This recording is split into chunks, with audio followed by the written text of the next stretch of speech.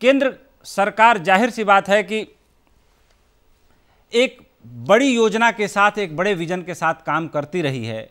आपको नहीं लगता कि प्रधानमंत्री के बड़े विजन में मजदूर कहीं ना कहीं पीछे छूट गए हैं, जिस कारण बहुत ज़्यादा परेशानी और बदहाली का सामना उनको करना पड़ रहा है और कोई बड़ी और मज़बूत आवाज़ इन तमाम चीज़ों को देखने के बाद भी आगे नहीं आ रही है कि लीजिए ये है ब्लूप्रिंट मजदूरों को यहाँ से टेक ऑफ़ कराने का और उनको घर तक पहुँचाने का। उपेन्द्र जी, अगर ये सोचे कि मजदूर के प्रति केंद्र सरकार में या राज्य सरकारों में संवेदनशीलता नहीं है तो मुझे लगता है ये शायद कथन जो है वास्तविक, वास्तविकता से परे है।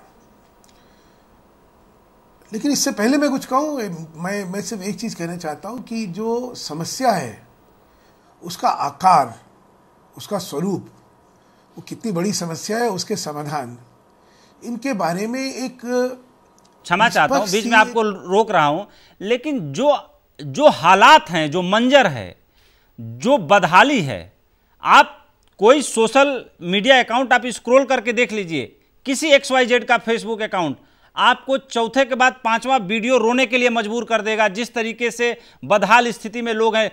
रास्ते चलते लोग मर जा रहे हैं छोटे बच्चे भूख प्यास से दम तोड़ दे रहे हैं। कहीं भी अपनी गाड़ी रोक के खड़ा हो जाइए मजदूर दौड़ पड़ रहे हैं कि शायद ये साहब जो गाड़ी रोक के खड़े हुए हैं कुछ ना कुछ भोजन देंगे हमें। क्या इस तरह के हिंदुस्तान की कल्पना हम लोग कर रहे हैं? क्या इस तरह की आत्मनिर्भरता को हम लोग प्राप्त करना चाह रहे हैं? उपेन्द्र जी। जी।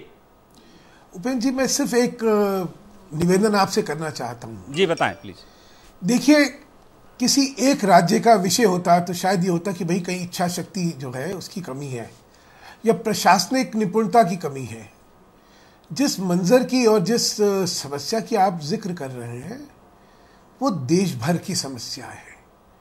क्योंकि जितने लोग हैं और जितने लोग आज वापस अपने अपने घरों में आना चाहते हैं, उनकी संख्या की तादाद बहुत बड़ी है। ये समस्या छोटी नहीं है।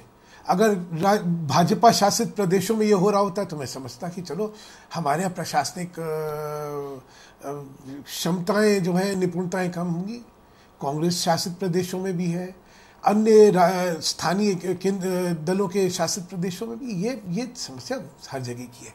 इसीलिए मेरा सिर्फ़ आपसे कहना है कि इसका विश्लेषण करते समय हम आ, हम आपके ऊपर आरोप नहीं लगा रहे हैं सुधांशु जी। ये मत सोचिए कि हम सिर्फ़ आपके ऊपर आरोप लगा रहे हैं। देखिए मैं किसी के मैं भारतीय जनता पार्टी या केंद्र सरकार को इसके लिए दोषी सीधे नहीं मान रहा हूँ। लेकिन एक बात बताना चाहूँगा बीच में रोक के कि हमारी हमारे देश का जो ट्रांसपोर्टेशन सिस्टम है प्रतिदिन 9 करोड़ से ज़्यादा लोगों को ट्रांसपोर्ट करने की क्षमता रखता है।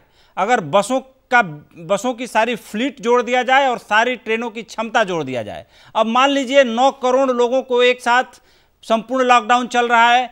एक करोड़ लोग ही पकड़ लीजिए, अगर एक सिस्टम तैयार किया जाता है एक मास्टर प्लान तैयार किया जाता है मजदूरों को एक जगह से दूसरे जगह पहुँचाने के लिए। वन वन टेंथ अरेंजमेंट पर भी अगर दस दिन या पाँच दिन ये व्यवस्था चलाई जाती तो मुझे लगता है कि जो आठ करोड़ प्रवासी मजदूरों का जो डेटा निकल के आ रहा है उनको उनके घरों तक पहुँचाया जा सकता था। और अभी भी बहुत देर नहीं हुई है। आनंद बिहार बस अड्डे पर जो देखने को मिला, रेलवे स्टेशन पर जो देखने को मिला, तब भी सरकार ने अगर इसकी गंभीरता को समझ लिया होता तो ज़ाहिर सी बात है कि केंद्र समेत तमाम राज्य सरकारों को ये शर्मिंदगी नहीं उठानी पड़ती, क्योंकि इसमें सारे लोग भागीदार हैं। कोई एक आदमी के ऊपर सिर्फ़ दोष नहीं मढ़ा जा सकता। मैं आपको एक उदाहरण देना चाहता हूँ उपेन्द्र जी। जी। दिल्ली में ही जो जो लोग अपने घरों से जाना चाहते हैं उनकी एक रजिस्ट्रेशन का व्यवस्था करी गई। उसमें अधिकतम वो लोग रजिस्टर हुए जो कि वहाँ की जो इन्होंने रैन बसेरे बना रखे हैं वहाँ पे जो लोग रह रहे थे उनकी व्यवस्था हुई। जो श्रमिक फैक्ट्रियों में या कहीं रह रहे थे, उनकी उन्होंने रजिस्ट्रेशन नहीं करवाई। इसमें बहुत समस्याएँ चीज़ है। इसमें इतनी इतनी सिंपलटन सिस्टम फेलियर नहीं है।